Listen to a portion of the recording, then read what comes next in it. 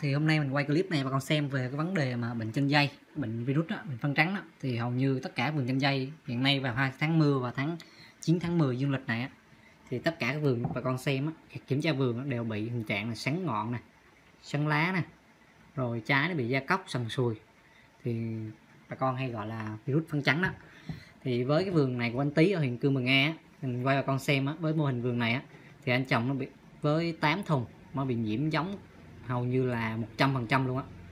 Thì với vườn này thì nó bị rất là nặng rồi gốc nó cũng có phần là thúi rồi. Thì ờ, với vườn này mình khuyên bà con á, là cắt bỏ nhổ bỏ luôn làm đất sạch sẽ thì trồng mới là được. Chứ còn nếu mà phun hoặc là phun thuốc sẽ không cứu vãn được thì tùy theo vườn chanh mà mình có những cái mức độ phun thuốc và những cái hướng mà điều trị riêng để cho bà con chúng ta nên làm hoặc nên phun. Chứ không phải là vườn nào vô cũng phải phun thuốc đó là mình khuyên bà con.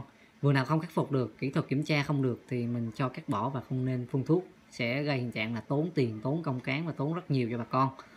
Vì cái giai đoạn bà con mua giống á, bà con chọn không đúng giống và dẫn đến tình trạng trên dây chúng ta vừa trồng lên nó bắt đầu là có hiện tượng thung đọt sáng đọt vàng lá thối rễ.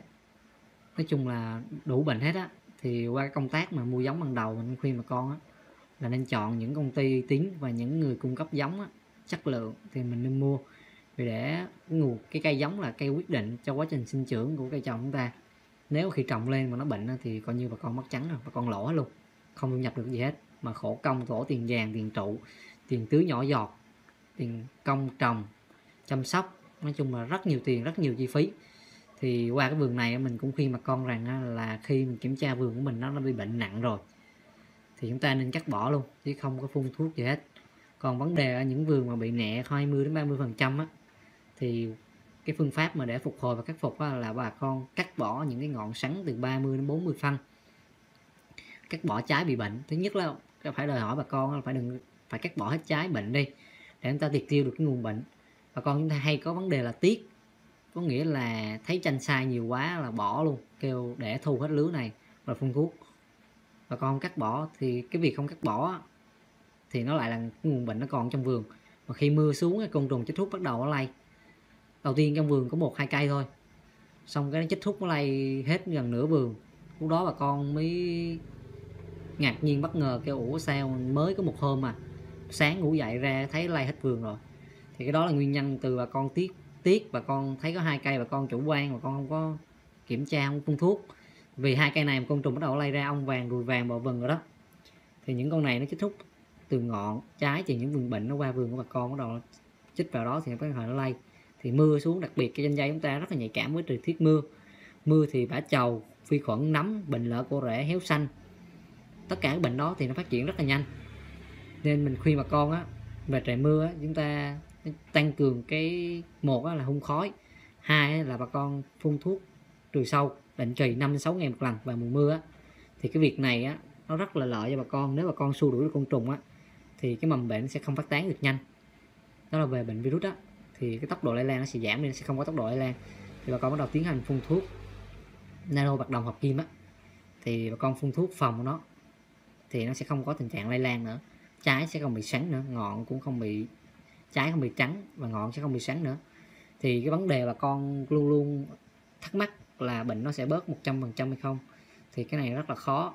Thứ nhất là côn trùng chích thuốc bà con phải quản lý được còn nếu mà bà con theo được cái chu trình quản lý côn trùng chích thuốc thì mình khẳng định bà con á, là phun thuốc vào là nó sẽ hết. Và cái thứ hai nữa là khi bà con mới trồng giống xuống á, thì bà con nên làm cho mình xử lý nguồn giống, rồi xử lý nguồn đất sạch sạch bệnh đi. Để tránh tình trạng khi chúng ta trồng vừa lên phủ vàng nó có hình trạng là chết nhanh chết chậm á, thì cái tình trạng đó hầu như bà con chúng ta ai là cũng bị hết á. Lúc đó nó chết hết gần hết vườn, lúc con mới quýu, mới sợ thì qua clip này mình quay cũng nhắc nhở bà con có những cái phương pháp phòng và chữa bệnh ở bên bệnh virus chết nhanh chết chậm như là tổng hợp những bệnh mình quay ở trên clip rồi. Thì đây mình quay để nhắc lại bà con tham khảo. Bà con nên phòng chăm sóc cho định kỳ. Việc danh dây nó rất là nhạy cảm với thuốc. Và cái thứ hai nữa là thời tiết thay đổi là nó hay bệnh. Nên một khi đã bệnh thì bà con phun thuốc tốn rất nhiều chi phí. Mà sẽ không có lời nữa.